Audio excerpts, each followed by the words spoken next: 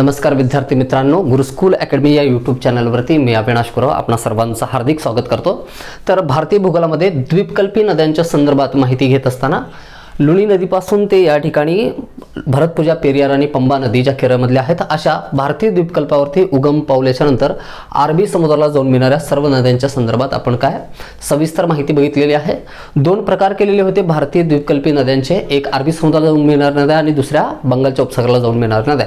तर अरबी समुद्राला जाऊन मिळणाऱ्या नद्यांबद्दल काय पूर्ण माहिती घेतली आहे तर आजच्या पेडमध्ये आपल्याला बघायचं आहे अरबी समुद्राला बंगालच्या उपसागराला जाऊन मिळणाऱ्या नद्या ज्या की या ठिकाणी भारतीय द्वीपकल्पावरती उगम पावतात. तर या नद्यांबद्दल आजच्या पिरियडमध्ये आपल्याला डिस्कशन करायचं आहे. तर जास्त लेंदी पिरियड होणार नाही. आपण महानदीपर्यंत किंवा गोदावरी नदीपर्यंत घेण्याचा प्रयत्न करू. आजच्या पिरियडमध्ये थोडीशी तब्येत खराब असल्याकारणानं तर बाकीचा जो भाग आहे आपण पुढच्या व्हिडिओमध्ये कंप्लीट करू आणि लवकरात लवकर पोर्शन जो आहे तो कंप्लीट करण्याचा या ठिकाणी प्रयत्न करणार आहे. तर नद्यांबद्दल बघण्याच्या अगोदर भूप्रदेशाची माहिती थोडीशी घेऊ. मग आपण काय करू? सुरुवात करू.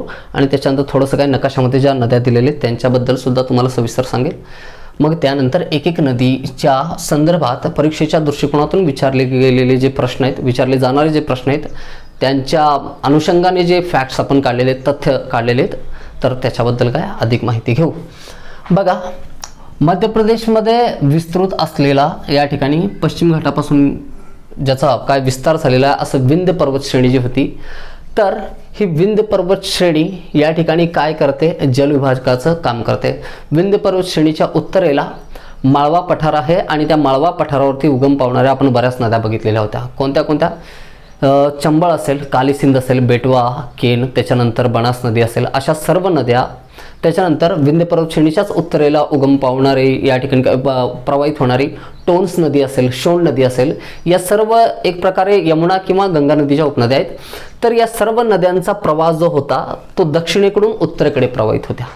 म्हणजे विंध पर्वताच्या उत्तर भागामध्ये असलेला जो भारतीय द्वीपकल्पाच प्रदेश आहे त्याचा उतार कोणीकडे आहे? उत्तर दिशेला आहे हे बघितलं होतं. आणि संपूर्ण विंध्य पर्वताच्या दक्षिण भागामध्ये जेवढ्या काही नद्या उगम पावतात त्या सर्व नद्या या ठिकाणी पूर्व दिशेला प्रवाहित होतात. त्यानंतर या ठिकाणी विंध्य पर्वत श्रेणीच्या काय? पूर्वेला आपण एक पठारी प्रदेश बघितला होता कोणता? छोटा नागपूरचा पठार. तर छोटा नागपूरच्या पठाराचं विस्तार किती राज्यांमध्ये होतं? या ठिकाणी झारखंड ओरिसा आणि छत्तीसगड या तीन राज्यांमध्ये या छोटा नागपूरच्या पठाराचा विस्तार झालेला होता. तर त्या छोटा नागपूरच्या पठारामध्ये एक महत्त्वपूर्ण नदी बघितली होती. ज्या छोटा नागपूरच्या पठाराचं काय करते? समजा हे छोटा नागपूरचं पठार आहे. तर या ठिकाणी छोटा नागपूरच्या पठारावरती उगम पाहून अशा पद्धतीने पूर्व दिशेला वाहत जाणारी नदी कोणती होती? दामोदर नदी जी की हुगळीची काय आहे? उपनदी आहे. तर या दामोदर नदीनं छोटा नागपूर पठाराचे दोन भाग केलेले आहेत. हे बघितलं होतं आपण. तर या ठिकाणी दक्षिणेला जे आहे ते रांची पठार आहे.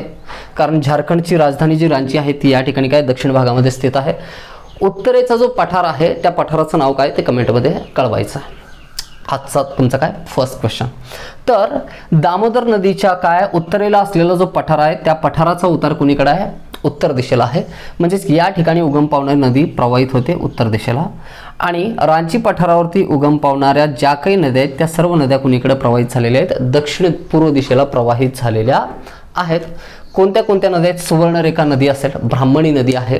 त्याच्यानंतर वैतरणी नदी आहे. अशा बऱ्याच नद्या या ठिकाणी काय आपल्याला बघायच्या आहेत डिस्कस करायचे आहेत. तर एकूण लक्षात घ्या विंध्य पर्वत आणि छोटा नागपूरचं पठार यांच्या दक्षिण भागाकडे काय उगम पावणार नद्या आणि भारतीय द्वीपकल्पावरती या ठिकाणी भारतीय द्वीपकल्पावरती हा जो दाखवलेला आहे प्रदेश तो पश्चिम घाट दाखवलेला आहे. हा अशा पद्धतीने. तर या पश्चिम घाटामध्ये उगम पावणारी प्रत्येक नदी जी आहे ती अशा पद्धतीने दक्षिण पूर्व दिशेने किंवा सर्वात साधारणरित्या म्हणता येईल की पूर्व दिशेला काय होतात? प्रवाहित होतात. तर या संपूर्ण भूप्रदेशाचा उतार कुणीकडे आहे? पूर्व दिशेला आहे. म्हणून या सर्व नद्या कोणत्या कोणत्या असतील? सुवर्णरेखा ब्राह्मणी असेल. त्याच्यानंतर वैतरणी नदी महानदी गोदावरी कृष्णा कावेरी वैगई पेन्नार ताम्रपर्णी या सर्व नद्या बंगालच्या उपसागराला येऊन मिळालेल्या आहेत. तर याच नद्यांबद्दल आपल्याला काय करायचं आहे? डिस्कस करायचं आहे.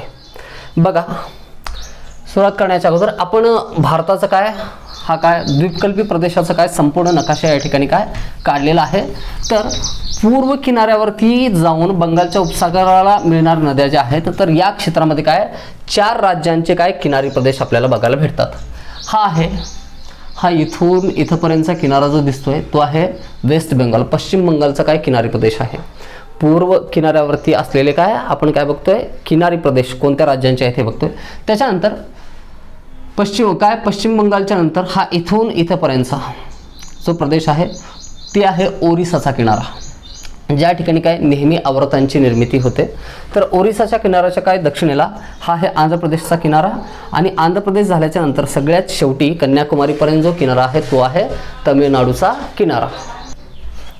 दामोदर नदीबद्दल आपल्याला काय पहिली नदी काय? दामोदर नदी ही या ठिकाणी आहे. मात्र दामोदर नदी ही एक प्रकारे आपल्याला म्हणता येईल हिमालयीन नद्यांची उपनदी म्हणून काय आपण तिला ग्रहित पकडलेलं होतं. आणि गंगा नदीबद्दलचे डिटेल्स बघत असताना आपण त्याच्याबद्दल काय सविस्तर चर्चा केलेली होती. बघा गंगा नदी जी की उत्तराखंड काय राज्यातून काय उगम पावल्याच्या नंतर पाच राज्यांमध्ये होत पश्चिम बंगालमध्ये या ठिकाणी काय करते त्याची एक मुख्य वितरिका जी की हुगळी नावाने ओळखली जाते ही हुगळी नदी पश्चिम बंगालमधून बंगालच्या उपसागराला जाऊन मिळते आणि एक वितरिका बांगलादेशमध्ये प्रवेश करते. तिला काय म्हणतात? पद्मा म्हणतात. तर या हुगळी नदीचीच उपनदी कोणती आहे? दामोदर नदी आहे. मात्र दामोदर नदीबद्दल काही फॅक्ट आपण लिहून घ्यायचे कारण दामोदर नदीचा उगम मात्र कोणत्या ठिकाणी झालेला आहे? या छोटा नागपूरच्या पठारामध्ये द्वीपकल्पी प्रदेशामध्ये झालेला आहे. म्हणून या सुद्धा ठिकाणी काय? दामोदर नदीबद्दल आपण बघू. तर दामोदर नदी या ठिकाणी छोटा नागपूरच्या पठारामध्ये उगम पावल्याच्या नंतर पूर्व दिशेला काय होते? प्रवाहित होते. आणि अशा पद्धतीनं त्या नदीनं काय केलेलं आहे? छोटा नागपूरचं जे पठार आहे छोटा नागपूरच्या पठाराचं दोन समान भागांमध्ये काय केलेलं आहे? विभाजन केलेलं आहे. एक उत्तरेकडील पठार आणि एक दक्षिणेकडील पठार. दक्षिणेकडील जो पठार आहे त्याला रांची पठार म्हणून काय ओळखलं जातं. उत्तरेकडील पठार तुम्हाला कमेंटमध्ये कळवण्यासाठी सांगितलेलं आहे. तर या दामोदर नदीच्या उत्तर भागामध्ये उगम पावणाऱ्या नद्या ज्या आहेत त्या उत्तरेकडे काय वाहत जातात आणि दक्षिण भागामध्ये काय उगम पावणाऱ्या नद्या सगळ्या? या ठिकाणी बघा आपण सुवर्णरेखा नदी दाखवलेली आहे त्याच्यानंतर ब्राह्मणी नदी दाखवलेली आहे त्याच्यानंतर वैतरणी नदी दाखवलेली या सर्व नद्या कुणीकडे वाहत येतात? दक्षिण पूर्व दिशेने काय होतात? प्रवाहित होतात. तर एवढा फॅक्ट पुरेसा आहे काय? दामोदर नदीच्या संदर्भात. दामोदर नदी ही काय? हुगळीची प्रमुख उपनदी आहे. आणि ती काय? छोटा नागपूरच्या पठारामध्ये उगम पावल्याच्या नंतर कुठे येते? हुगळीला येऊन मिळते आणि काय? बंगालच्या उपसागरामध्ये तिचा विसर्ग होतो. अशा पद्धतीने दामोदर नदी ही झारखंड राज्यामधून काय? प्रवाहित होऊन पश्चिम बंगालमध्ये प्रवेश करते. अशा दोन राज्यामध्ये काय ती प्रवाहित होते. झारखंड राज्यामध्ये काय? उगम पावल्याच्या नंतर पश्चिम बंगालमध्ये प्रवाहित होऊन ती काय करते? संपूर्ण पश्चिम बंगालमधून वाहत येऊन बंगालच्या उपसागराला मिळते. तर पहिली महत्त्वाची आपली नदी आहे कुठली? सुवर्णरेखा. पहिली महत्त्वाची नदी आपल्याला बघायची आहे कोणती? सुवर्णरेखा जी स्पष्टपणे भारतीय द्वीपकल्पावरील काय नदी आहे? तिचा उगमसुद्धा द्वीपकल्पी प्रदेशामध्ये होतो आणि ती येऊन मिळते सुद्धा काय बंगालच्या उपसागराला स्वतंत्ररित्या. कोणत्याही नदीला जाऊन ती काय उपनदी नाही ती जी की इतर नद्यांना जाऊन मिळेल. सुवर्णरेखा नदीचा उगम जो आहे झारखंडमध्ये या ठिकाणी झालेला आहे. झारखंडमधील रांची पठारावरती. रांची पठारावर. तर हा जो रा रांचीचा पठार आहे दक्षिणेकडे छोटा नागपूरचा जो पठार आहे यालाच काय सिंगभूम असं सुद्धा म्हणलेलं आहे. सिंगभूम. तर या सिंगभूम प्रदेशामध्ये काय? रांची पठारावरती काय? सुवर्णरेखा नदीचा उगम होतो आणि ही नदी झारखंडमधून होऊन अगोदर पश्चिम बंगाल या राज्यामध्ये थोडासा प्रवेश क प्रवास करते. थोडासा प्रवास जो आहे सुवर्णरेखा नदीचा पश्चिम बंगाल राज्यामध्ये झालेला आहे आणि त्याच्यानंतर दक्षिणेकडे वळून ती ओरिसाच्या किनाऱ्यावरती येऊन काय करते? बंगालच्या उपसागराला मिळते. तर सुवर्णरेखा नदीचा जो प्रवास आहे तो तीन राज्यांमधून झालेला आहे. एक झारखंड त्याच्यानंतर वेस्ट बेंगॉल म्हणजेच पश्चिम बंगाल आणि त्याच्यानंतर ओरिसा राज्यामध्ये झालेला आहे. तर ओरिसामध्ये ती येऊन काय बंगालच्या उपसागराला मिळालेली आहे. सुवर्णरेखा हे नाव कशावरून पडलं? बघा पुराणांमध्ये सुद्धा असं सांगितलेलं आहे किंवा अशा काही गोष्टी सुद्धा प्रचलित आहेत की अगोदर सुवर्णरेखा नदी जी होती सुवर्णरेखा नदीच्या पात्रामधून काय सोन्याचं उत्खनन केलं जातं आणि अजून सुद्धा तिथल्या लोकांचं असं मानणं आहे की सुवर्णरेखा नदीच्या पात्रामध्ये काय सोनं हे खनिज जे आहे त्या ठिकाणी काय जर आपण उत्खनन केलं तर त्या ठिकाणी मिळेल. आता सत्य किंवा असत्य काय आहे याच्यामध्ये पडायचं नाही. पण सुवर्णरेखा नदी काब नाव का बरं पडलं? याच्या पाठीमागचं एक स्टोरी म्हणता येईल आपल्याला. ती अशा पद्धतीनं आहे. तर सुवर्णरेखा नदी जी आहे ती अशा पद्धतीने काय झारखंड पश्चिम बंगाल आणि ओरिसा राज्यामधून प्रवाहित होऊन काय बंगालच्या उपसागराला येऊन मिळालेली आहे. आता या नदीवरती कोणत्या सुवर्णरेखा नदीवरती एक महत्त्वाचा धबधबा आहे? कोणता? हुंडरू नावाचा धबधबा आहे. हुंड रू हुंडरू नावाचा धबधबा. आता कुठं असेल? बघा रांची पठारावरती उगम पावल्याच्या नंतर सुवर्णरेखा नदी अशा पद्धतीने काय प्रवाहित होते. आता हा इथंपर्यंत काय आपण पठाराचा काय विस्तार दाखवलेला आहे. छोटा नागपूरच्या पठाराचा. पठारावरून ही नदी ज्या वेळेस या मैदानी प्रदेशामध्ये काय प्रवेश करते त्यावेळेस पठारावरून मैदानी प्रदेशामध्ये उतरत असताना त्याच ठिकाणी काय झालेलं आहे सुवर्णरेखा नदीवरती या धबधब्याची निर्मिती झालेली आहे. म्हणजे उंच प्रदेशातून उंच प्रदेशावरून पठारावरून जेव्हा मैदानी भागामध्ये नवी नदी उतरते त्यावेळेस त्या ठिकाणी काय होतं धबधब्यांची निर्मिती होते. आपण अगोदर बघितलं होतं शरावती नदी बघत असताना. तर याच प्रकारचं काय धबधब्याची निर्मिती या ठिकाणी झालेली आहे. तर त्याचं नाव काय आहे? होंडरू धबधबा. एवढे फॅक्ट्स पुरेसे आहेत काय? सुवर्णरेखा नदीच्या संदर्भात. तर पुढची नदी आहे आपली कोणती? या ठिकाणी दाखवलेला आहे ब्राह्मणी नदी. आता ब्राह्मणी नदी या ठिकाणी काय? दोन नद्यांपासून काय निर्मित नदी आहे. दोन या ठिकाणी काय वितरिका एकत्र येतात आणि दोन नद्यांच्या काय प्रवाहापासून ही ब्राह्मणी नदी तयार झालेली आहे. पुढची नदी कोणती आहे? ब्राह्मणी नदी. बघा ब्राह्मणी नदीचा उगम सुद्धा राची पठार जे आहे राची पठारावरती झारखंड राज्यामध्ये झालेला आहे. झारखंड राज्यामध्ये रांची पठारावरती ब्राह्मणी नदीचा उगम होतो. याच प्रदेशमध्ये जो सिंगभूमचा प्रदेश म्हणून ओळखला जातो. याच सिंगभूमच्या प्रदेशामध्ये जिथं सुवर्णरेखा सुद्धा प्रवाहित होते त्याच ठिकाणी ब्राह्मणी नदी सुद्धा काय करते? उगम पावते. आता बघा या ठिकाणी दोन प्रवाह आहेत. कशाचे? ब्राह्मणी नदीचे. कोणते कोणते दोन प्रवाह आहेत ते? शंख आणि साऊथ कोयल. कोणते कोणते दोन प्रवाह आहेत? शंख अँड साऊथ कोयल. तर शंख व साऊथ कोयल हे ज्या ठिकाणी एकत्र येतात तर त्यांच्या एकत्रित प्रवाहास काय म्हणलेलं आहे? ब्राह्मणी असं म्हणलेलं आहे. आणि अशा पद्धतीने ब्राह्मणी नदी झारखंडमधून प्रवाहित होऊन ओरिसा राज्यामध्ये येते आणि ओरिसा राज्यामध्ये ती बंगालच्या उपसागराला जाऊन मिळते.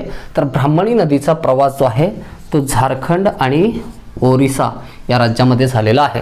बघा एक महत्त्वाचं या ठिकाणी औद्योगिक शहर आहे जिथं उद्योगांची खूप मोठ्या प्रमाणात काय विकास झालेला आहे. तर रुरकीला ज्या ठिकाणी शंख आणि साऊथ कोयल नद्या एकत्र मिळतात छोटा नागपूरच्या काय हा बॉर्डरचा जो प्रदेश आहे तर या ठिकाणी कोणता आहे? आपल्याला सांगता येईल.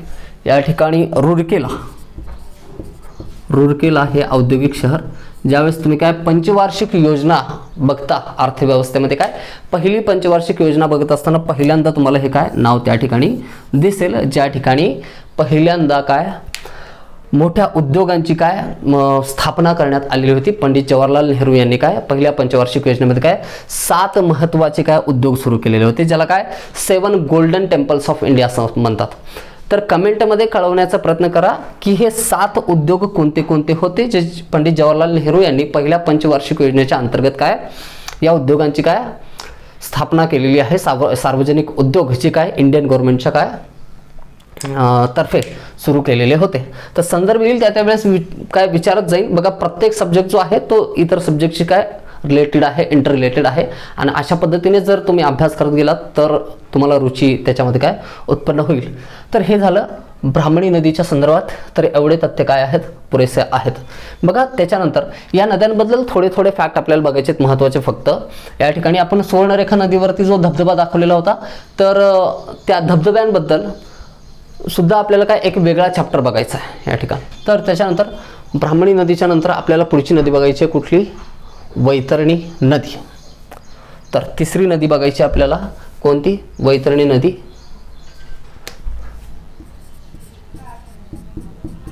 वैतरणी नदी.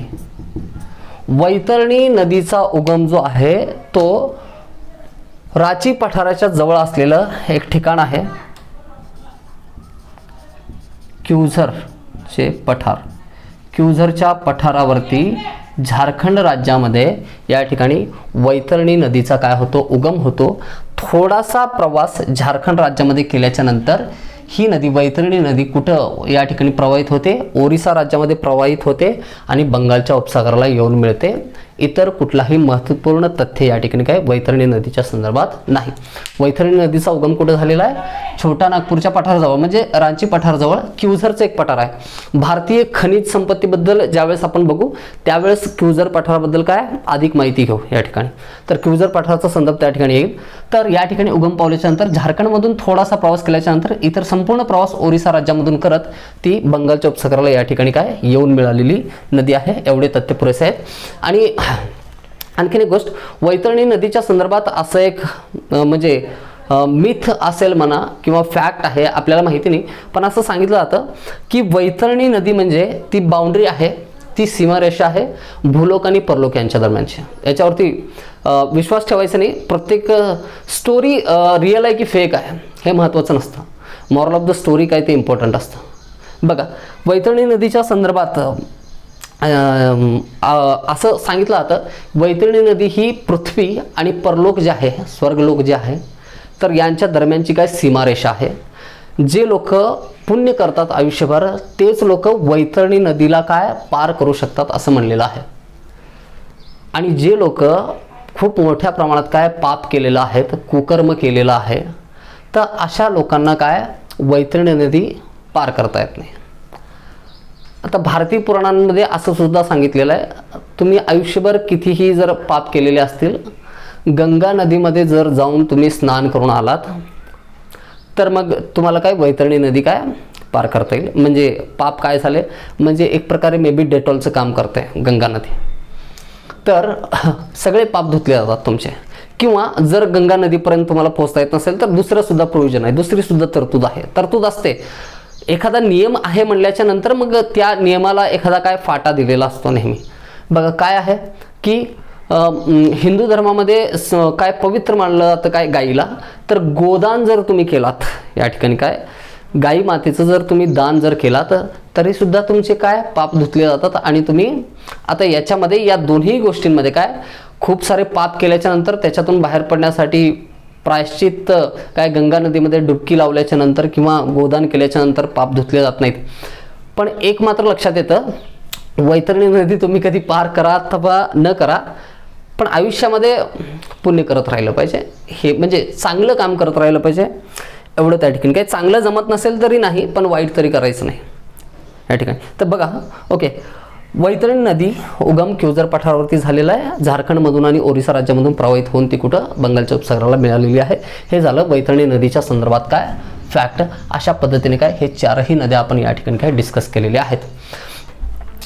वैतरणी नदी झाल्याच्यानंतर भारतीय द्वीपकल्पावरील महत्त्वाची नदी या ठिकाणी येते महानदी. आपण महानदीच्या मुखाशी अशा पद्धतीने त्रिकोणी त्रिपु प्रदेश दाखवलेला आहे. तो आहे त्रिभुज प्रदेश. तर त्रिभुज प्रदेशांची निर्मिती कोणत्या पद्धतीने होतं हे सगळं आपण डिटेलमध्ये बघितलेलं आहे. इथं बघायची आवश्यकता नाही. तर या त्रिभुज प्रदेशांची निर्मिती या ठिकाणी झालेली आहे आणि या ठिकाणी काही किनारी बेटसुद्धा त्याच्यामुळे काय तयार झालेले आहेत. गाळाचे किनारी बेट. तर असं पॅराद्वीप नावाचं बेट या ठिकाणी आपल्याला काय महानदीच्या काय मुखाशी बघायला मिळतं. महानदी जी आहे महानदीचा उगम कुठं होतो? छत्तीसगड राज्यामध्ये. बघा विंध्य पर्वत श्रेणीच्या दक्षिणेला काय? एक पर्वत श्रेणी एक पर्वत शृंखला नर्मदा आणि तापीच्या दरम्यान आपण बघितली होती. कोणती? सातपुडा पर्वत. तर हा सातपुडा पर्वत जो आहे तर त्या सातपुडा पर्वताचं या ठिकाणी विस्तार मध्य प्रदेश राज्यामध्ये आणि पूर्वेकडील एक सातपुडा पर्वत श्रेणीची उपश्रेणी जी आहे सर्वात पूर्वेकडील जो भाग आहे त्याला आपण म्हणलं होतं मैकल. मैकल पर्वत श्रेणी तर या मैकल पर्वत श्रेणीचा विस्तार मध्य प्रदेश राज्यामध्ये आहे. आणि काहीचा त्याचा विस्तार छत्तीसगड राज्यामध्ये सुद्धा झालेला आहे. छत्तीसगड राज्यामधील मैकल पर्वत श्रेणीवरती जे सिंहावाच्या टेकड्या आहेत कोणत्या? सिंहावा टेकड्या. तर या सिंहावा टेकड्यांमध्ये छत्तीसगड राज्यांमध्ये छत्तीसगड राज्यामध्ये महानदीचा उगम झालेला आहे. आता त्या नदीला महानदी असं म्हणलेलं आहे. तर त्याच्या संदर्भात महाफॅक्ट्स असतील. ते बघू. महान नदी आहे. तर त्याच्याबद्दल बघत असताना महानदी जी आहे महानदी मैकल श्रेणीमध्ये छत्तीसगडमधील सिंहावा टेकड्यांमध्ये उगम पावल्याच्या नंतर ही नदी छत्तीसगड मधून प्रवाहित होत ओरिसा राज्यामध्ये येते आणि ओरिसा राज्यातून ती बंगालच्या उपसागराला जाऊन काय करते? या ठिकाणी मिळते. तर पाण्याचा विसर्ग अशा पद्धतीने बंगालच्या उपसागराला झालेला आहे. पुढचा नेक्स्ट पॉईंट या ठिकाणी महानदी जी आहे महानदीला या ठिकाणी महानदीवरती एक सगळ्यात मोठं धरण या ठिकाणी. भारतातील सगळ्यात जास्त लांबीचं धरण महानदीच्या काय पात्रामध्ये या ठिकाणी बांधलेलं आहे. बघा या ठिकाणी आपण दाखवलेलं आहे. तर महानदीचा प्रवाह जो आहे महानदीचा प्रवाह अशा पद्धतीने कोणत्या कोणत्या राज्यांमधून झालेला आहे? छत्तीसगडमध्ये उगम पावते आणि काय ओरिसामध्ये बंगालच्या उपसागराला येऊन मिळते? म्हणजेच छत्तीसगड आणि ओरिसा अशा दोन राज्यांमध्ये याचा काय प्रवाह आहे? मात्र जो वॉटर अटॅचमेंट एरिया आहे तो जास्त आहे. तो बघणं आवश्यक आहे. आपण या नद्यांच्या बाबतीत का बरं बघितलं नाही? कारण त्यांचं जल अधिग्रहण क्षेत्र हे एवढं मोठं नाही की त्याच्यावरती एखादा पॉईंट बनेल तथ्य बनेल किंवा प्रश्न बनेल विचारला जाईल. तर महानदीच्या बाबतीत मात्र काय विचारलेलं आहे? कारण बऱ्याच उपनद्या आहेत महानदीच्या आपल्याला बघायचं आहे पुढं. बऱ्याच उपनद्या काय या ठिकाणी येऊन मिळतात. तर मध्य प्रदेश असेल त्याच्यानंतर झारखंड असेल मध्य प्रदेश झारखंड या दोन्ही राज्यांमधून येणाऱ्या काही उपनद्या महानदीला येऊन मिळतात. म्हणून महानदीचं जल जल अधिग्रहण क्षेत्र जे आहे छत्तीसगड ओरिसा मध्य प्रदेश आणि झारखंड या राज्यांपर्यंत काय झालेलं आहे? वॉटर अटॅचमेंट एरिया चार राज्यांपर्यंत काय विस्तृत आहे. तर महानदी या ठिकाणी काय? तर महानदी जी आहे तर अशा पद्धतीने प्रवाहित झाल्याच्यानंतर महानदीच्या बऱ्याच उपनद्या आहेत. आपण अशा पद्धतीने समजण्यासाठी दाखवलेले महानदी या ठिकाणी उगम पावते आणि या ठिकाणी काय बंगालच्या उपसागराला ती येऊन मिळते. तर महानदीला सगळ्यात काय पहिल्यांदा डाव्या तीरावरून येऊन मिळणारी एक नदी आहे. ती कोणती आहे? शिवनाथ नदी. या ठिकाणी काय महानदीला येऊन मिळते. त्याच्यानंतर दक्षिण तीरावरून एक नदी येऊन मिळते. तिचं नाव आहे जोंक. जोक नदी येऊन मिळाल्याच्या नंतर तीन नद्या या ठिकाणी काय? हसदेव मंडणी इब. हसदेव मंडणी इब या तीन नद्या ज्यावेळेस काय? महानदीला येऊन मिळतात. ज्या ठिकाणी इब नदी येऊन मिळते त्याच ठिकाणी एक सगळ्यात मोठं सगळ्यात या ठिकाणी काय? प्रकल्प या ठिकाणी महानदीवरती काय केलेलं आहे? स्थापन केलेलं आहे. त्याचं नाव आहे हिराकूड प्रकल्प. तर प्रकल्पाबद्दल हिराकूड प्रकल्प. प्रकल्पाबद्दल परियोजनांबद्दल ज्यावेळेस आपण चर्चा करणार आहोत एका वेगळ्या चॅप्टरमध्ये त्यावेळेस काय आपल्याला डिटेलमध्ये बघायचं आहे. फक्त आता एवढं लक्षात ठेवा की हिराकूड प्रकल्प हे महानदीवरती आहे. यानंतर हिराकूड प्रकल्पाच्या नंतर डाव्या तीरावरून ओंग आणि तवा या दोन नद्या महानदीला येऊन मिळतात. कोणत्या? ओंग आणि तवा या दोन नद्या महानदीला येऊन मिळतात. आणि त्यानंतर या ठिकाणी बंगालच्या उपसागराला जाऊन मिळण्याच्या अगोदर महानदीच्या तीरावरती एक महत्त्वाचं शहर आहे. कोणतं? कटक. या ठिकाणी दाखवलेलं आपण. या ठिकाणी काय? कटक शहर आहे. आणि अशा पद्धतीने काय? त्रिभुज प्रदेशाची निर्मिती करत महानदी बंगालच्या उपसागराला जाऊन मिळते. आणि याच किनारी प्रदेशामध्ये एक भाग आहे ए- एक प्रदेश आहे. त्याचं नाव आहे पॅराद्वीप. नावाचं बेट या ठिकाणी आहे. बरेच बेट या ठिकाणी आहेत. वुलर बीट बघितलं आपण. त्याच्यानंतर काय श्रीहरिकोटा बेट बघितलं अशा वेगवेगळ्या काय बेटांबद्दल द्वीपांबद्दल आपल्याला काय बघायचं आहे? फक्त लक्षात ठेवा एवढं. आणि महानदी ज्या ठिकाणी येऊन मिळते तर महानदीच्या दक्षिणेला या ठिकाणी एक सरोवर आहे. कोणतं सरोवर ते कमेंटमध्ये कळवायचं आहे. आपण याच्या अगोदर सुद्धा बघितलंय. सरोवरांचा एक सेपरेट टॉपिक असणार आहे ज्याच्यामध्ये आपल्याला डिटेलमध्ये बघायचं आहे. कमेंटमध्ये एवढं कळ एवढं सांगायचं तुम्हाला की महानदीच्या दक्षिणेला फक्त आपण स्थान डिस्कस करतोय. नदी कुठे येऊन मिळते हे बघितल्याच्या नंतर ओरिसाच्या किनाऱ्यावरती असलेलं हे जे सरोवर आहे ज्याचं मुख समुद्राकडे काय असतं अशा पद्धतीने काय ओपन असतं ज्याच्यातून काय पाणी आतमध्ये समुद्राचं पाणी आतमध्ये येऊ शकतं किंवा बाहेर जाऊ शकतं. तर हे सर्व तथ्य झाले महानदीच्या संदर्भात. तर महानदी बघितल्याच्या नंतर त्यानंतरची सगळ्यात महत्त्वाची नदी ठरते कोणती? गोदावरी नदी. तर गोदावरी नदीच्या संदर्भात काय करू आपण काय? इतर बाकीचे तथ्य बघू. तर इथंपर्यंत सगळ्यांना समजलेलं आहे. व्यवस्थित लिहून घ्यायचं आहे. नोट्स बनवत राहायचं आहे. मी आठवण करून देऊ अथवा न करू. पण नोट्स बनवल्याशिवाय किंवा हा संपूर्ण नकाशा न काढता तुमचा अभ्यास कधी होऊ शकत नाही या गोष्टी लक्षात ठेवा. हां? तर चला तर मग बघू. पुढची नदी गोदावरी. महानदी झाल्याच्यानंतर पुढची नदी आपण बघतोय गोदावरी नदी. या ठिकाणी आपण काय? गोदावरी नदीचा प्रवाह आणि त्याच्या काही उपनद्या दाखवलेल्या आहेत. गोदावरी नदी जी आहे ती भारतीय द्वीपकल्पावरील आपण तथ्य बघत असताना सांगितलेलं होतं की गोदावरीला या ठिकाणी दक्षिण दक्षिणेची गंगा किंवा दक्षिण भारताची गंगा असं म्हटलेलं आहे. आता याच्यामध्ये कन्फ्युजन ठेवायचं नाही. या ठिकाणी दोन नद्यांना त्या ठिकाणी काय उपमा दिलेली आहे गंगेची. कोणती कोणती? एक गोदावरी नदी आणि दुसरी कावेरी नदी.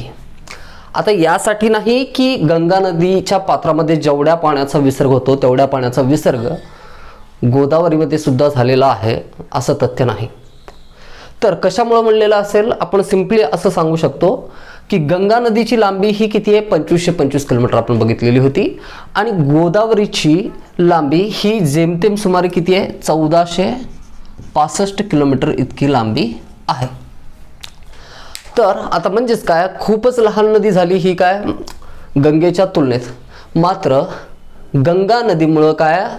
उत्तर भारतीय मैदानाचं काय? संपूर्ण प्रदेश जो आहे तर अकरा प्रदेश बघितले होते. एकूण दहा राज्य आणि एक केंद्रशासित प्रदेश. अशा अकरा प्रदेशांमध्ये गंग गंगा नदीचं खोरं जे आहे ते विस्तृत होतं आणि गंगा नदीमुळं त्या सर्व प्रदेशाचा काय विकास झालेला आहे कृषीच्या दृष्टिकोनातून. म्हणता येईल आपल्याला. तर त्याच पद्धतीने गोदावरी ही भारतीय द्वीपकल्पावरील काय सर्वात मोठी नदी आहे आणि गोदावरी नदी खोऱ्याचा या ठिकाणी उपयोग जो आहे तो संपूर्ण पठारी प्रदेशाला या या ठिकाणी जे महत्त्वाचे राज्य आहेत महाराष्ट्र आहे तेलंगणा स्टेट आहे आणि त्याच्यानंतर आणखीन एक या ठिकाणी आंध्र प्रदेश ज्या ठिकाणी गोदावरी नदी बंगालच्या उपसागराला जाऊन मिळते. तर गंगा ज्याप्रमाणे काय जीवनदायिनी ठरलेली आहे उत्तर भारतीय मैदानामध्ये तर त्याच प्रकारे पठारी प्रदेशावरील या तीन राज्यांमध्ये गोदावरी ही जीवनदायिनी ठरते. म्हणून जेवढं महत्त्व गंगेचं आहे तेवढंच महत्त्व पठारी प्रदेशावरती काय गोदावरीचं होतं म्हणून गोदावरीला काय म्हणलेलं आहे? दक्षिणेची गंगा असं म्हणलेलं आहे. त्याच पद्धतीचं महत्त्व आहे या ठिकाणी कावेरी नदीचं दक्षिण भारतामध्ये. तर दक्षिण भारतातील गंगा कोणती आहे? कावेरी आहे आणि दक्षिणेची गंगा कोणती आहे? गोदावरी आहे. बघा प्रश्न जर आला की भारताची दक्षिणेची गंगा कोण आहे तर पर्यायामध्ये गोदावरी आणि कावेरी एकाच वेळी कधीच ऑप्शन असणार नाहीत. जर ऑप्शन आले तर शंभर टक्के आयोग तो प्रश्न काय करेल रद्द करेल. या गोष्टीची गॅरंटी देतो. तर गोदावरीला या ठिकाणी दक्षिणेची गंगा म्हणलेलं आहे आणि त्याच प्रकारे काय गोदावरीला वृद्ध गंगा असं सुद्धा म्हणलेलं आहे. कारण उत्तर भारतीय मैदानाचा मैदानाची निर्मिती जी आहे ती नवीनतम आहे. सर्वात अर्वाचीन भाग तो आहे. संपूर्ण भारतीय भूप्रदेशामधील सर्वात प्राचीन भूभाग जर कोणता असेल तर तो भारतीय द्वीपकल्प आहे. आणि या प्राचीन काय? द्वीपकल्पावरती निर्मित जी नदी होती तर जे की आपण बघितलं होतं प्रौढावस्थेतल्या नद्या आहेत. भारतीय पठारी प्रदेशावरून वाहणाऱ्या नद्या आपलं पात्र बदलत नाहीत. निश्चित मार्गाने काय करत असतात? ते प्रवास करत असतात. आणि गंगेच्या तुलनेमध्ये काय? खूपच म्हणजे इतर सर्व नद्यांच्या तुलनेमध्ये पठारी प्रदेशावरील नद्या काय? खूपच जुन्या आहेत. तर त्याच्यामुळे याला काय म्हणलेलं आहे? वृद्ध गंगा असं सुद्धा काय म्हणलेलं आहे. दोन नावं दिलेली आहेत. कोणती कोणती? दक्षिणेची गंगा आणि यालाच गोदावरीलाच काय म्हणलेलं आहे? वृद्ध गंगा असं म्हणलेलं आहे. तर पॉईंट लक्षात घ्या या ठिकाणी. तर आता बघू गोदावरी नदीचा या ठिकाणी काय प्रवास कुणीकडे आहे? सह्याद्री पर्वतामध्ये उगम पावल्याच्या नंतर गोदावरी नदी ही अशा पद्धतीने काय दक्षिण पूर्व दिशेने प्रवाहित होते आणि बंगालच्या उपसागराला जाऊन मिळते. आणि बंगालच्या उपसागराला मिळणारी या ठिकाणी भारतीय द्वीपकल्पावरील सर्वात मोठी नदी कोणती आहे? गोदावरी नदी आहे. दुसऱ्या क्रमांकाची कोणती नदी आहे? कृष्णा नदी. आणि तिसऱ्या क्रमांकाची नदी बघितलं होतं आपण भारतीय द्वीपकल्पावरील तर ती होती नर्मदा. तर गोदावरी नदीचा उगम कुठं झालेला आहे आपण बघू. बघा गोदावरी नदी जी आहे सह्याद्री पर्वत म्हणजे पश्चिम घाट जे आहे पश्चिम घाटालाच महाराष्ट्रामध्ये काय म्हणलं जातं? सह्याद्री म्हणतात. तर महाराष्ट्र राज्यामध्ये स्थित जे पश्चिम घाट आहे त्या सह्याद्री पर्वतामध्ये नाशिक जिल्ह्यामध्ये नाशिक जिल्ह्यामध्ये त्र्यंबकेश्वर या ठिकाणी. बघा एक या ठिकाणी काही धार्मिक स्थळ आहे त्र्यंबकेश्वर म्हणून. तर त्या त्र्यंबकेश्वरमध्ये ब्रह्मगिरी डोंगर आहे. तर त्या ब्रह्मगिरी डोंगरावरून काय होते? गोदावरी नदी उगम पावते आणि उगम पावल्याच्या नंतर महाराष्ट्रामधून प्रवास करते. महाराष्ट्रातून ती तेलंगणा स्टेटमध्ये या ठिकाणी प्रवेश करते. तेलंगणा स्टेटमधून आंध्र प्रदेशमध्ये अगोदर ही नदी फक्त महाराष्ट्र आणि आंध्र प्रदेशमधून काय व्हायची? प्रवाहित व्हायची. पण तेलंगणाची निर्मिती दोन हजार चौदामध्ये जेव्हा झाली तेव्हापासून या राज्याचा या नदीचा विस्तार किती राज्यांमधून झालेला आहे? तीन राज्यांमधून. महाराष्ट्र तेलंगणा आणि आंध्र प्रदेश तर आपण काय उगमाचं ठिकाण या ठिकाणी लिहू?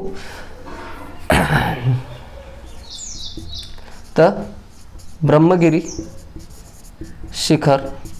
कुठं आहे हे? त्र्यंबकेश्वर जे की कुठं आहे?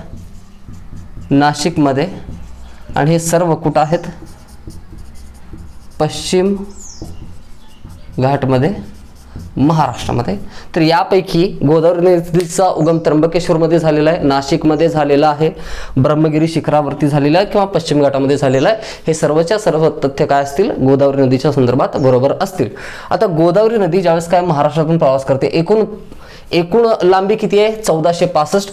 तर त्यापैकी जेमतेम सातशे बत्तीस किलोमीटरचा प्रवास सातशे बत्तीस किलोमीटरचा प्रवास गोदावरी नदी कुठून केलेली आहे? महाराष्ट्रामधून करते. म्हणून महाराष्ट्राची काय? या ठिकाणी काय? सगळ्यात मोठी नदी असं म्हणता येईल. किंवा महाराष्ट्रामधील सगळ्यात मोठं नदीचं खोरं किंवा द्वीपकल्पी भारतावरील सगळ्यात मोठं नदीचं खोरं कोणत्या नदीचं आहे? गोदावरी नदीचं आहे. तर एकूण चौदाशे पासष्टपैकी सातशे बत्तीस किलोमीटरचा प्रवास गोदावरी नदीनं कुठं केलेला आहे? महाराष्ट्रामध्ये केलेला आहे. आणि महाराष्ट्रातील सर्वात जास्त जिल्ह्यामधून प्रवास करणारी नदीसुद्धा कोणती आहे? गोदावरी. ऑब्विसली सगळ्यात जास्त लांबी गोदावरीची आहे तर लॉजिकली आपल्याला म्हणता येईल. पण फॅक्टसुद्धा आहे हे लक्षात ठेवा की सर्वाधिक जिल्ह्यामधून या ठिकाणी काय प्रवाहित होणारी ही नदी आहे गोदावरी. तर गोदावरी नदी ज्यावेळेस काय प्रवाहित होते महाराष्ट्रातून सर्वाधिक जिल्ह्यातून प्रवाहित झाल्याच्यानंतर या ठिकाणी धर्माबाद या ठिकाणी कोणत्या? या ठिकाणी लिहू आपण.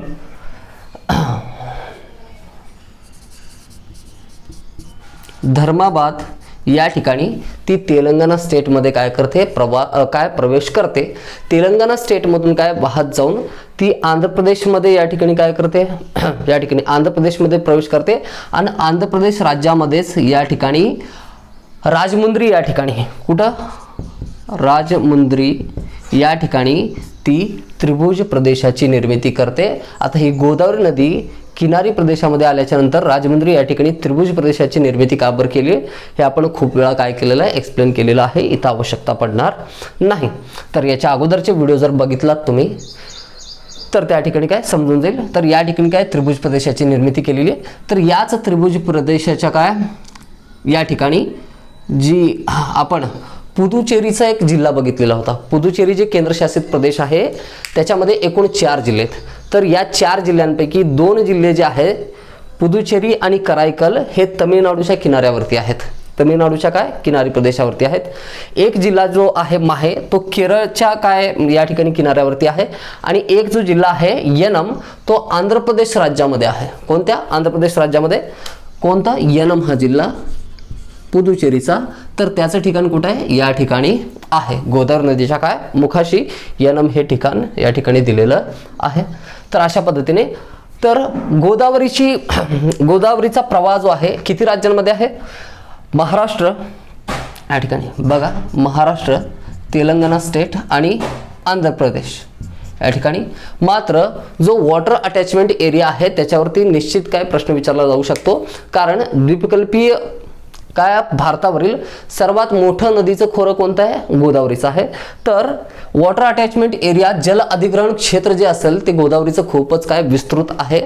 तर या ठिकाणी या तीन राज्यांमधून प्रवाहित होते. तर महाराष्ट्र तेलंगणा स्टेट आणि आंध्र प्रदेशमध्ये या ठिकाणी काय त्याचं जल अधिग्रहण क्षेत्र ते खोरं राहणारच आहे. यांच्या व्यतिरिक्त कोणत्या कोणत्या राज्यांचा समावेश होतो? छत्तीसगड राज्यांमधून काही नद्या उगम पावतात आणि गोदावरीला गोदावरी नदीला येऊन मिळतात. त्याच्यानंतर ओरिसा आणि त्यानंतर मध्य प्रदेश या ठिकाणी दाखवलेली इंद्रावती नदी जी आहे ती इंद्रावती नदी ओरिसामध्ये उगम पावते. ओरिसामध्ये उगम पावल्याच्या नंतर छत्तीसगडमधील बस्तरचं पठार बघितलं होतं. तर कमेंटमध्ये कळवायचं आहे बस्तरचं पठार हे कोणत्या मोठ्या पठाराच्या अंतर्गत येतं? मी हमारी अधुक अधुरी कहाणी या मूवीचं या ठिकाणी रेफरन्स सुद्धा दिलेलं होतं. जर मागं तुम्ही व्हिडिओ बघितला असेल तर लक्षात येईल या ठिकाणी. तर विद्या बालन कोणत्या पठारावरती काय फिरायला गेलेली होती त्या मूवीमध्ये हे सांगितलेलं होतं. त्यावेळेस सांगत असताना सांगितलं होतं जे बस्तरचं पठार आहे हेच ते बस्तरचं पठार पठार आहे छत्तीसगडमधील ज्या ठिकाणी इंद्रावती नदी ओरिसामध्ये उगम पावल्याच्या नंतर येऊन मिळते. त्यानंतर या ठिकाणी गोदावरी नदी जी आहे गोदावरी नदीच्या दक्षिणेला आहे कृष्णा नदीचं खोरं. आणि उत्तरेला आपण बघितलं होतं या ठिकाणी कोणत्या? नर तापी नदीचं खोरं बघितलं होतं. तर गोदावरी नदी गोदावरी नदीच्या उत्तरेला या ठिकाणी एक पर्वत शृंखला आहे आणि दक्षिणेला सुद्धा आहे. तर कोणत्या दोन पर्वत शृंखलांच्या दरम्यान गोदावरी नदी आहे? तर कोणते होते? मी काय विन साता सागो ह भीमक्रू असं सांगितलं होतं. बघा सातमाळा अजिंठा. सा गो ह असं लिहिलेलं होतं. ही झाली आपली गोदावरी. तर गोदावरीच्या उत्तरेला काय आहे? सातमाळा अजिंठा. हा? महाराष्ट्राच्या उत्तर भागामध्ये असलेलं काय? ही काय पर्वतश्रेणी आणि गोदावरीच्या दक्षिणेला कोणता आहे? हरिश्चंद्र बालाघाट. या ठिकाणी. तर सातमाळा अजिंठा आणि हरिश्चंद्र बालाघाट यांच्या दरम्यान काय? गोदावरी नदीचं संपूर्ण खोरं विस्तृत आहे. तर आणि गोदावरी आणि कृष्णा नदीचं खोरं यांना विलग करण्याचं काम कोणी केलेलं आहे? हरिश्चंद्र बालाघाट या डोंगररांगांनी केलेलं आहे.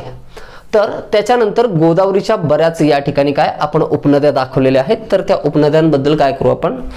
थोडीशी चर्चा करू. म्हणजे आपलं काय? गंगा नदी हा टॉपिक काय होईल या ठिकाणी? पूर्ण होईल. बघा. गंगा नदी ही महाराष्ट्रामध्ये काय उगम पावल्याच्या नंतर एकूण सातशे बत्तीस किलोमीटर ती महाराष्ट्रातून प्रवास करते. आणि अशा पद्धतीने प्रवास केल्याच्यानंतर धर्मापाद या ठिकाणी ती तेलंगणा स्टेटमध्ये प्रवेश करते. आणि त्याच्यानंतर आंध्र प्रदेशमध्ये जाऊन ती बंगालच्या उपसागराला मिळते. त्याच ठिकाणी येलम हे ठिकाण आहे. हे सर्व फॅक्ट काय बघितलेले आहेत. महाराष्ट्राची जीवनदायिनी म्हणता येईल किंवा जीवनरेखा म्हणता येईल आपल्याला. तर एवढं अनन्यसाधारण महत्त्व आहे की या नदीच्या सर्व उपनद्यांबद्दल सुद्धा बघणं काय आवश्यक ठरतं. तर कोणत्या कोणत्या प्रवरा असेल मुळा असेल मांजरा असेल त्याच्यानंतर सिंदफणा अशा सर्व नद्या बघा डाव्या तीरावरून येऊन काय? गोदावरी नदीला मिळतात. आणि उजव्या तीरावरून येऊन मिळणाऱ्या नद्या कोणत्या कोणत्या आहेत? हे शिवणा आहे पूर्णा आहे. त्याच्यानंतर प्राणहिता नदी ज्या अंतर्गत पैनगंगा वर्धा वैनगंगा या नद्या येतात इंद्रावती नदी सबरी नदी या ठिकाणी बऱ्याच नद्या आपण दाखवलेल्या आहेत. बघा या ठिकाणी नाशिक जिल्ह्यामध्ये नाशिक जिल्ह्यामध्ये गोदावरी नदीवरती एक धरण बांधलेलं आहे गंगापूर या ठिकाणी. कोणत्या ठिकाणी? गंगापूर या ठिकाणी. गंगापूर या ठिकाणी एक मातीचं धरण बांधलेलं आहे. आणि फॅक्ट लक्षात ठेवा या धरणाबद्दल खूप वेळा विचारलं गेलेलं आहे. कारण भारतामधील पहिलं मातीचं धरण गंगापूर धरण आहे. कोणतं? पहिले मातीचे धरण. नाशिक जिल्ह्यामध्ये या ठिकाणी. बरेच प्रकल्पसुद्धा या ठिकाणी काय प्रकल्पांची स्थापनासुद्धा या ठिकाणी नदीवरती झालेली आहे. तर प्रवरा नदी जी आहे तर ती अशा पद्धतीने काय डाव्या तीरावरती गोदावरीला येऊन मिळते. तर गोदावरीला हे एक ठिकाण आहे टोके म्हणून. तर या ठिकाणी काय प्रवरा नदी येऊन मिळते. आता प्रवरा नदी गोदावरीला जाऊन मिळण्याच्या अगोदर प्रवराची एक प्रमुख उपनदी आहे. कोणती? मुळा नदी. आणि प्रवरा आणि मुळा यांचं संगमाचं ठिकाण जे आहे मुळा नदी प्रवराला नेवासे या ठिकाणी जाऊन मिळते ज्या की ठिकाणी ज्या ठिकाणी ज्ञानेश्वरांनी काय ज्ञानेश्वरी सांगितलेली होती. तर ते हे नेवासे ठिकाण या काय? प्रवरा आणि मुळा यांच्या काय संगमाच्या ठिकाणी आहे आणि प्रवरा नदी गोदावरीला कुठे जाऊन मिळते? टोके या ठिकाणी जाऊन मिळते. त्यानंतर उजव्या तीरावरून येणारी काय शिवना या ठिकाणी काही गोदावरीची उपनदी आहे. फक्त उपनद्या लक्षात ठेवा. ज्या उपनदीच्या संदर्भात महत्त्वाचा पॉईंट आहे तो पॉईंट मी सांगेन. तर त्याच्यानंतर पूर्णा नदी येऊन मिळते. तर सर्वात मोठी दक्षिणेकडून काय येऊन मिळणार नदी कोणती आहे? मांजरा ही काय नदी गोदावरीची उपनदी आहे. बघा उत्तरेकडून काय दक्षिणेकडे प्रवाहित होणारी महाराष्ट्रातील ही काय सर्वात मोठी नदी आहे? कोणती? पैनगंगा वर्धा आणि बैनगंगा. आणि यांच्यापैकी जर विचारलं की गोदावरीची काय सर्वात प्रमुख उपनदी कोणती आहे तर ती आहे बैनगंगा. बघा पैनगंगा आणि वैनगंगा ज्या ठिकाणी एकत्र येतात त्यांच्या एकत्रित प्रवाहास काय म्हणलं जातं? प्राणहिता असं म्हणलं जातं. प्राणहिता आणि प्राणहिता गोदावरीला येऊन कुठं मिळते? सिरोजच्या या ठिकाणी मिळते. तर प्राणहिता मिळण्याच्या अगोदर या ठिकाणी बघा प्राणहिता सिरोजच्या या ठिकाणी गोदावरीला जाऊन मिळण्याच्या अगोदर या ठिकाणी एक नदी आहे दुधना. लक्षात ठेवा दुधना ही सुद्धा काय? गोदावरीची उपनदी आहे. त्याच्यानंतर आपण इंद्रावती नदी सांगितलं होतं. ओरिसा राज्यामध्ये उगम पावल्याच्या नंतर ती ओरिसातून छत्तीसगडमध्ये काय प्रवेश करते आणि काय छत्तीसगड राज्यामध्येच बस्तरचं जे पठार आहे त्या बस्तरच्या पठारावरती गोदरला येऊन मिळणारी नदी कोणती आहे? इंद्रावती नदी आहे. तर त्याच्यानंतर इंद्रावतीच्या नंतर शबरी ही नदी या ठिकाणी गोदरला येऊन मिळते. या ठिकाणी बघा महाराष्ट्रामध्ये औरंगाबाद जिल्ह्यामध्ये पैठण या ठिकाणी एक प्रकल्प आहे जायकवाडी प्रकल्प. बहुउद्देशीय प्रकल्प आहे जायकवाडी. बऱ्याच जणांनी याला काय भेट दिलेली असेल. तर हे जायकवाडी प्रकल्प या प्रकल्पांबद्दल धरणांबद्दल जलाशयांबद्दल या ठिकाणीच काय जलाशय आहे? जायकवाडी प्रकल्पाच्या ठिकाणी कोणतं? नाथसागर हे जलाशय आहे. नाथसागर जलाशय त्या ठिकाणी उद्यानाची सुद्धा काय? निर्मिती केलेली आहे. आता हे सगळे जे डिटेल्स आहेत आता नदीचा चाप्टर बघत असताना त्याच्यामध्ये जर आपण मिक्स केलं तर ती सगळी खिचडी बनून जाईल. हां? तर खूप सारे फॅक्ट्स आहेत पण आपण कॅटेगराईज करून व्यवस्थितपणे त्याचं काय करायचं अभ्यास करायचा आहे. तर ज्यावेळेस डॅम सरोवरे धरणे प्रकल्प यांचा आपण एका वेगळ्या व्हिडिओमध्ये अभ्यास करू त्यावेळेस काय सविस्तररित्या बघू. फक्त एवढं लक्षात ठेवा जायकवाडी हे प्रकल्प जे आहे ते पैठण या ठिकाणी गोदावरी काय नदीवरती आहे आणि त्या इंद्रावती नदी मिळण्याच्या अगोदर प्राणहिता नदी येऊन मिळाल्याच्या नंतर ज्या वेळेस काय धर्माबादमध्ये तेलंगणा काय प्र तेलंगणा राज्यामध्ये गोदावरी नदी प्रवेश करते या ठिकाणी एक प्रकल्प आहे. कोणता? जायकवाडी प्रकल्प. महाराष्ट्रामध्ये आणि तेलंगणा स्टेटमध्ये आहे. कालेश्वर प्रकल्प. कालेश्वर प्रकल्पसुद्धा कुठं आहे? गोदावरी नदीवरती आहे. आणि अशा प पद्धतीने इंद्रावती आणि सबरी नदीसुद्धा काय? गोदावरीच्या उपनद्या आहेत. तर एवढे तथ्य आहेत गोदावरी नदीच्या संदर्भात. तर हे सगळे तथ्य काय करायचेत लिहून घ्यायचे आहेत. तर त्याच्यानंतर य- काय करू आपण? या ठिकाणी थांबू. तर काय? खूप सारे फॅक्ट्स बघितलेत आपण. दामोदर नदीपासून ते गोदावरी नदीपर्यंत काय डिस्कस केलेलं आहे. तर कृष्णा पेरणे पेरणार कावेरी वैगई ताम्रपर्ण ताम्रपर्णी या सर्व नद्या झाल्याच्यानंतर भारतीय नदी प्रणाली हा चॅप्टर पूर्णपणे काय या ठिकाणी काय संपेल. तर उद्याच्या प्रेला आपण राहिलेल्या नद्या काय करू? बघू. तोपर्यंत या ठिकाणी थांबा विश्रांती घ्या. तर घरी राहायचं आहे सुरक्षित राहायचं आहे थँक्यू